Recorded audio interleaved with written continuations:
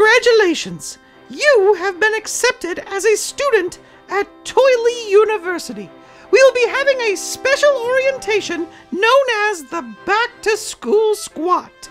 It all happens this Sunday, August 16th, 2020, at 3 p.m. Pacific, 4 p.m. Mountain Time, 5 p.m. Central Time, and 6 p.m. Eastern Time. We will be having presentations from the Art Department, the English Department, the Home Economics Department, the Penmanship Department, the Music Department, the PE Department, and much more.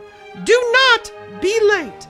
It all happens this Sunday, August 16th, 2020, at 3 p.m. Pacific, 4 p.m. Mountain Time, 5 p.m. Central Time, and 6 p.m. Eastern Time. We are looking forward to having a great year, and it all starts with the Back to School Squat. Don't miss it.